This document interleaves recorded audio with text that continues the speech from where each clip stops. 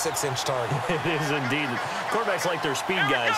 They like that huge six-six target that they've got in him. They really do. It, it reminds me of what one great tight end. Nowhere to go here. He lost the football. And the, look at the big man rumble. And he will bring this all the way back out to midfield.